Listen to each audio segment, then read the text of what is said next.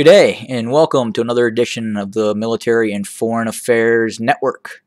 I'm your host, the voice of reason. So, in this episode, we're going to do another extended uh, coverage episode of the ongoing conflict inside of Tigray. So, what's new on the ground?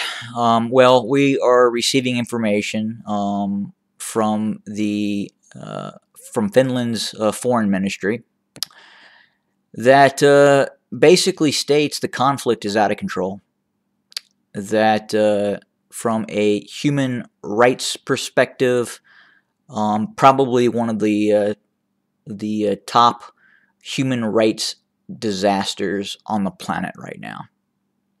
But not only that, in terms of actual conflict, in terms of actual fighting, if you look at other conflicts that are going on around the globe, from Yemen uh, to the uh, Donetsk to eastern Ukraine to Libya and uh, and places elsewhere, Syria. The level of conflict the intensity of the fighting is on par or exceeds many of these other places in the world as we speak. Now, granted, it was the intensity as uh, as uh, harsh as what occurred in Syria two years ago? No, maybe not. But as we speak now, the intensity of the fighting is uh, is is uh, is incredible. So what is going on on the ground as we speak?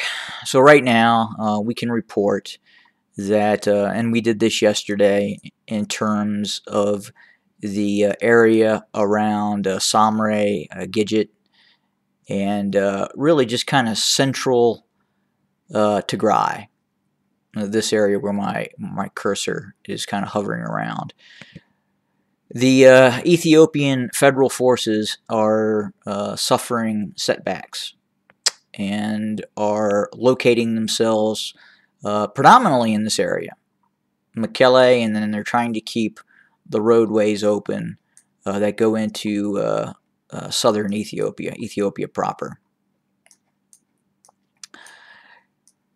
We're also hearing that uh, obviously Ethiopia, the EDF, the Ethiopian Defense Forces, was aware that uh, it had taken losses inside of Samre. And uh, there were soldiers being held uh, captive inside of Samre. And apparently, uh, there are initial reports that a relief force was uh, ordered to, to head towards Samre to alleviate the situation and uh, there's there's a couple of different things coming out of that uh, uh, force that was sent. Uh, one, it refused to move. It it uh, initially was uh, heading in that direction when it figured out that it was having to go to Samre. the column stopped and it refused to move. And then there's other reports that indeed, another unit did try to uh, maneuver towards Samre and uh, uh, became uh, under uh, heavy fire, and it, it, it could move no further. But it looks like, as of right now, um, we're probably not going to see any sort of movement again in that direction. Um, and, and obviously that could change um, but we uh, shall see. Uh, in terms of uh, Eritrea, again, we uh, continue to hear reports of uh, uh, Eritrean identification cards being handed out, uh, predominantly up in towards these northern areas where it appears the uh, Eritreans believe that they have annexed this land, quite possibly all the way up into to Axum. Um, I think there are some Eritrean combat units that believe that uh, that Axum, uh, Adigrat is uh, is actually now part of Eritrea. And uh, on the comment section, it's kind of interesting that there are many uh, Eritreans that believe that this area uh, is part of, uh, of Eritrea.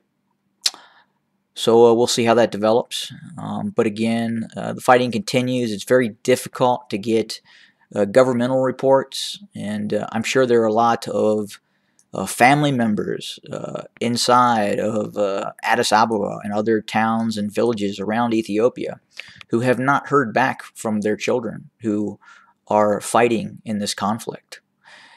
And because of the lack of transparency and lack of reporting or the lack of the ability to report, uh, many of these uh, Ethiopians are, are not receiving reports in, in cases that their loved ones may have uh, become wounded or deceased in the conflict.